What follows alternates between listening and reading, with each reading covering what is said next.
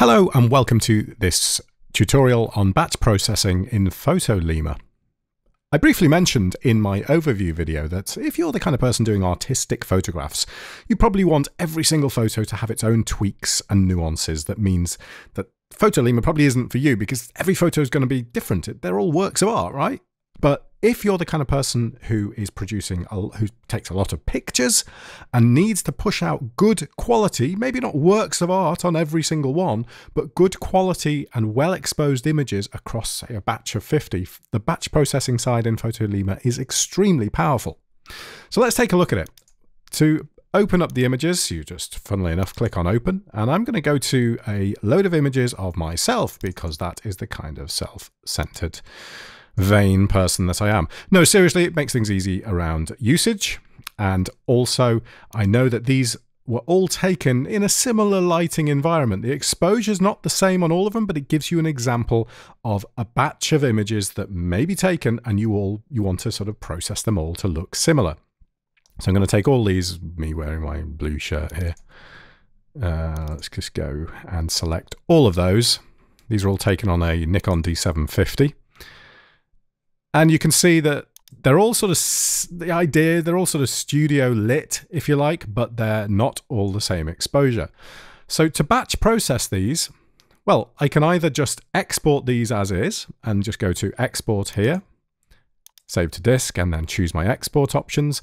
And when I do that, they'll all be exported and they'll all be processed with the default settings. However, in Photolemur 3, you can also apply settings. You can look at one image, apply certain settings to it, get it looking the way you want, and then apply that settings to those settings to all the other images.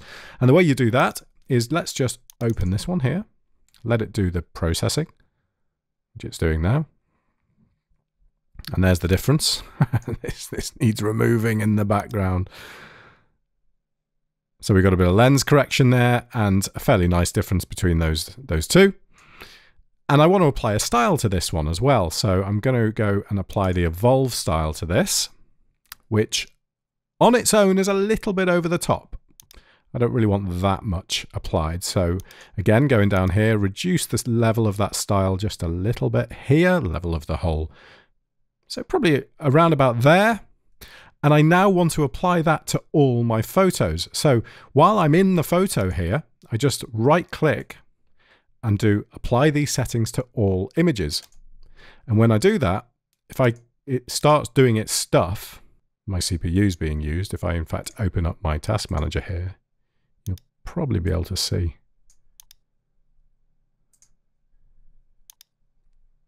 That it's pretty busy at work doing its thing.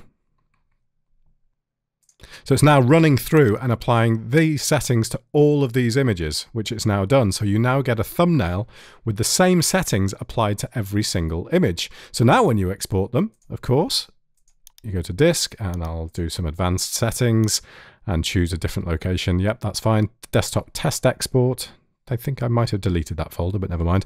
And we'll do them all at 100% quality. And I'm going to resize them to 2000 on the long, long edge. And there's a reason I'm doing these at 100. I wouldn't usually recommend 100. And what it does now is redoes. So even though it's had to do that initial processing to do the thumbnails, it does now reprocess them all using those settings. So if we go back into my perform into into here, you'll see that it's kind of it uses all your cores pretty well. It doesn't sort of hit them against the wall. Utilization is pretty good though, so it's clearly doing something. All right, they're all done. Now, depending on the spec of your machine, that can take a bit of time, but it doesn't really matter because you can just go away, leave it to do its thing, and come back and go and make a cup of tea or something like that. So reveal an Explorer, and we now have, I'm going to remove those because they weren't part of this. We now have all those photos processed using the Photolemur settings.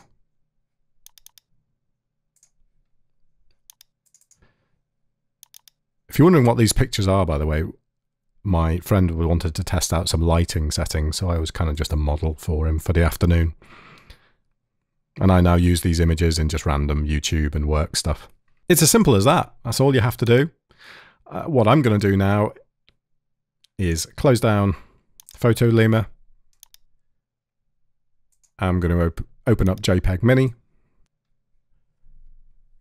Go to my test export folder.